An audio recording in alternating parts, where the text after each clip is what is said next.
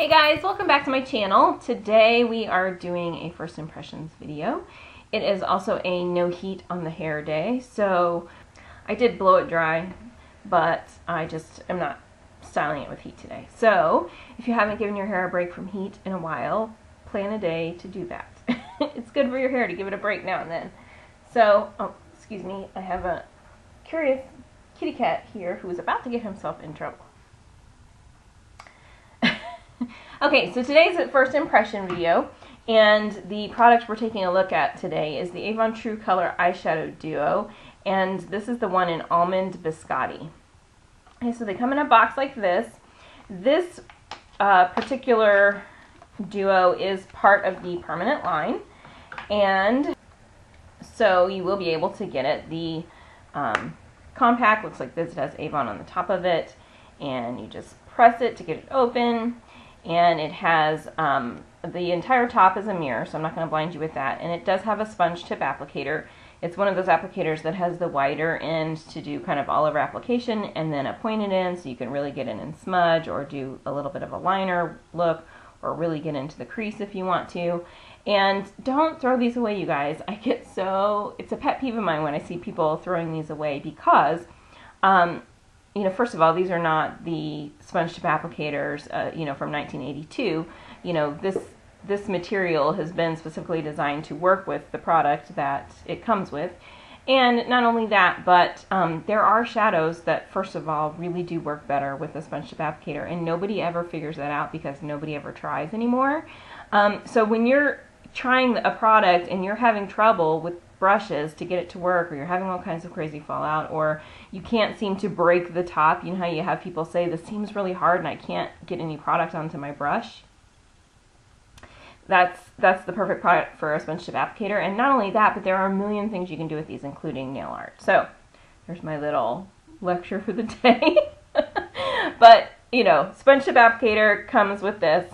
And then you have two shades here. So you have kind of the lighter, um, lighter shade and a darker shade. These are both matte. So if you are a matte shadow girl, these both are, I really don't see, um, you know, I, I can't, I can't call either of these leaning towards satin or anything else. And the colors are um, soft vanilla. This one is called soft vanilla, and this one is called black brown. I don't know that I would really describe it as a black black brown. It's kind of a dark, um, like a dark taupey brown. This is a really good eyebrow color for a lot of people. So maybe if you've been having trouble finding a good eyebrow match, this might be a good one for you to try. Just use an eyeshadow and, you know, a brush and kind of get in there. So this is the, these are the colors we're going to try today. And I think I'm going to start with just, um, I am going to apply them. I think I'm going to start with just you know, this, this is a Mark um, eyeshadow brush, so this is just kind of a flat um, eyeshadow brush. I could also use something like this because I am probably going to put this lighter color all over the lid. And so something like this would do that very easy, but this is a very soft brush and doesn't always pick up color um, super easily. This one for me a lot of times is better to buff out the edges. But this does work with super, super, super soft shadows for, you know, all over the lid. But I think I'm going to start with this one. And I'm just going to go into that cream. This is just going to be an easy, you know, two color shadow look. So there's no, I mean, we don't need to be too um, worried about tutorial situation here. I'm just going to take this and put it all over the lid. And this color really is pretty much an exact match for my my skin color. So it really isn't, I mean, I can tell where I'm putting it, but it's, it's not showing up. This is just providing, you know, kind of a base. I think if you build it up a little bit, um, or for somebody who has a skin tone like mine, you, you're going to see more color. But, you know, if you just do a very light layer or just one layer, you probably are not going to have a huge impact. I do have um, eye primer down already so I'm just going to build this up a little bit and just see. Yeah, you definitely can build it up. Um, it's still, you know, you, you still can see the skin through it, but you definitely can get um, even more color and more shadow down if you want to, which I think is sometimes good because then you can sort of build up um, or not build up color. Duh, of course you can build up color.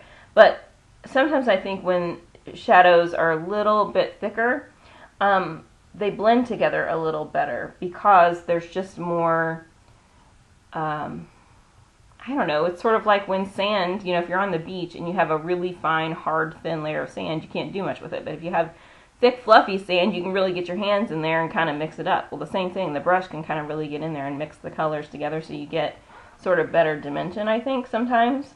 So, you know, there are benefits to kind of taking a little bit of time to build it up if you if you want to. Did you guys hear my stomach just growl? It sounded really mad at me. I guess I'm starting to get hungry. I tend to always get hungry when I'm doing videos, don't I? I guess it's just the time of day that I tend to do them all the time. Uh, really late after dinner and I haven't had lunch yet. That's pretty much how it works. Okay, so this brown color, I'm just, you guys know my handy dandy little, uh, you know, flat angled eyeshadow brush. So I'm just going to go into that and I'm just going to be doing kind of um, an outer V sort of through the crease to shadow look because that's kind of a standard go-to. So I just kind of tapped into it and yeah, this definitely, they're definitely both matte. Good color payoff with this one. Let's see how they blend.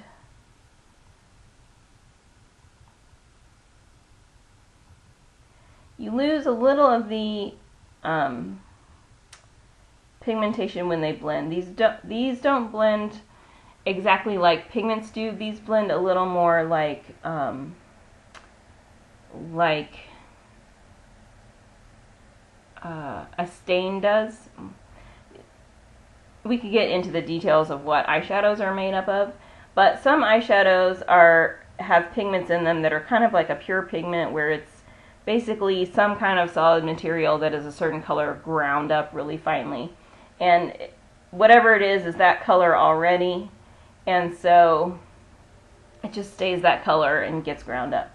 And then there are some that have um, a colorant in it, which is basically like they take some a powdery substance, a ground up substance, and they add a colorant to it, and the colorant is you know the color that they're trying to get for the shadow. So once they add the colorant to it, the colorant is kind of like a stain, and it basically stains you know whatever they're they're adding the color to, like talc or mica or what have you, depending on what the shadow is made of. And so um, you know, you, you can often be dealing with one or the other or some type of a combination of both.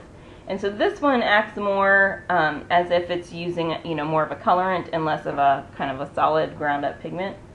So, and they're both, you know, they're both pigments. They're just, they're just different, just made different. So, I mean, I put it on kind of heavy so you guys could really see the color. But you obviously you can work with it. It's not getting muddy, although how muddy is it going to get with just two colors? Um, so you can kind of work with it and get what you want. And sometimes with colorants, you, you can't always do that very well. Sometimes colorants, because, uh, well, sometimes they can really stain. So if you've ever had an eyeshadow that left, you know, a stain on your eyes that you couldn't get off, um, that's because it was using, most likely it was using a colorant to stain, you know, the mica or the talc or whatever they're adding it to. And it's, it stains your skin along with uh, changing the color. You know, it's, it's no different really than dyeing your hair, I guess is a good way to put it. You know, they start with a base product that has no color and then they dye it a certain color. So that dye, just like it can stain the base, it can also stain your skin. So this is not doing that. It's, you know, it's blending and mixing with the base shadow nicely. So, all right. And then if, you know, if you if you want to soften the edges, you can go in with a fluffy brush like this and kind of soften around the top. And of course you can blend all day long if you want to and mix as much as you want. I don't mind if the edges are a little more harsh. It doesn't it doesn't really bother me. Sometimes I kind of like it hardcore like that. okay, so this is what it looks like. Should I zoom in a little bit? I really meant to zoom in before I started doing the eyeshadow, but that's okay. You guys will get the idea, and hopefully it's a cloudy day. I don't know what it is with cloudy days. It's been beautiful, and then the day I have scheduled to film, it's a cloudy day. Whatever, that keeps happening. So hopefully you can see the color, but I know everything probably looks very gray, and I apologize. Okay, so that's what it looks like. So I'm just going to add some eyeliner and some mascara and, you know, kind of finish off the look, and we'll see what you think. Okay, so there you have it, just with a little liner smudged in at the lash line and some mascara. Um, tell me what you think. Do you like these colors? Are these your kind of colors? It's a very easy neutral palette to work with. So if you're a neutral girl or if you're somebody who's in a hurry all the time, you just don't have time to, you know, put that much thought into what you're going to put on your face that day or you just want an easy grab and go look, I mean, this is definitely that kind of a look and it's, you know, it's very neutral and, and there's still a lot you can do with it. I mean, I did a kind of an outer V, you know, smoky sort of crease type of look, but you could obviously use that brown powder as like a um, a shadow and do a more of a winged out look if you wanted to. I mean, there's all kinds of things you can do with two eyeshadows, right? So, and obviously, I didn't, I, I never wear uh, eyeshadow underneath the eye, so you can, you can put some under the eye as well. So, what do you think? And does anybody have this palette already? What do you think about it, or are you thinking about getting it now? Um, I do have a link down to to my website down in the information bar below. So you're interested in picking it up, you can go check it out. Or if you want more information on it, you can go check it out there. Um, but what do you think? Do you like it? Do you have this one? Tell me down in the comments. And I think that's all. Just I, I think is for first impression. Uh, you know, I'm not going to talk about. I mean, a lot of people take you through the whole day and all that kind of stuff. And uh, I don't know. I think for for people who are super worried, I, I'm I'm a wear and go kind of girl, and I don't have any reason to believe that the shadow is not going to kind of last through the day. If it doesn't, I will come back and leave an annotation to tell you. But these shadows, I'm you know I'm familiar with these, and so um, they typically do. So if I find anything different than that, I will obviously let you know. Um, but just an easy look. I mean, my first impressions are I like it. They were easy to apply. Um, you know, they give the color that you expect. It's it's not too much for daytime. It's, it's still enough for nighttime. I think you can do anything with these two shadows. And obviously, you can pull out other palettes if you're a, a makeup junkie, which you probably are if you're here watching this video. So you can obviously pull out other other palettes that you could mix and match with it to make more complicated looks if you wanted to. So these provide a very good base, and the fact that they are both matte, I mean, I hear all the time people complaining that they can't find enough matte colors that are easy to use or easy to apply or blend nicely, blah, blah, blah. So this is probably a good one for that. So let me know what you think down in the comments and don't forget to subscribe if you are new to my channel and I will see you guys next time. Bye.